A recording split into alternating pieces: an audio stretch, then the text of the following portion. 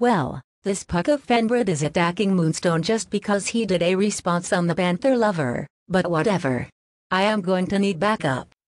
I have to defending the Panther Lover from Moonstone. Well your commentary in New Generation will freaking suck you Puckathan brat. Somehow, my response on the Panther Lover got his attention to do a commentary on me. He's basically just ignore the intense amount of criticism that I gave him.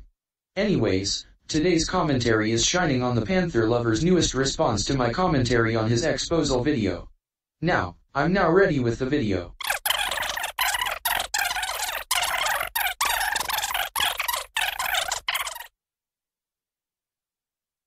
Oh my god, the worldwide of Happy Meal. First you called my old username stupid. Then, you called my previous username horrible and now you called my new username stupid too. Yeah, so what do you think about it, dude? Because it's a dumb name, what you change your username?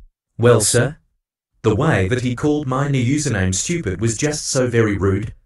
If he didn't like my new username, then he should have just simply ignored it. Well still, the fact that the worldwide of Happy Meal called your username stupid is just a good reason to do, not gonna lie. Because people can insulting your username whatever we want dude. You can't do that, you're deep shit. Yes the hell we can you Puckathan brat. Instead of calling it negative names.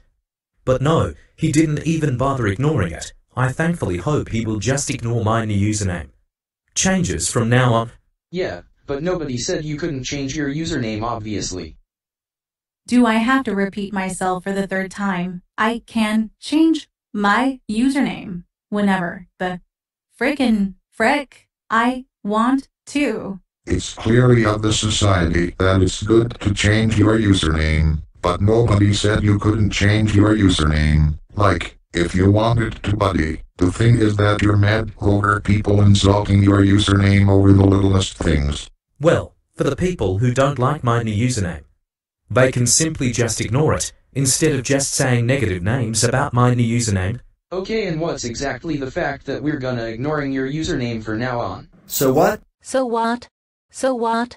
You are actually supporting the stupid Panther Lover, and the stupid Panther Lover is a criminal supporter. I agree with Rimi. Now do us one favor, go touch grass, stop being a Puckathan brat, leave Leah's friends alone, and go get a freaking life you jellyfish textured condom. So better next time, focus your anger something else dude.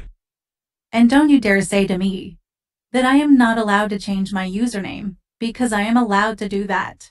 And you better not do a call out video on this. Or else I will do a response on it as a double response in season 3 episode 10 in March 2, 2024. That's a current day.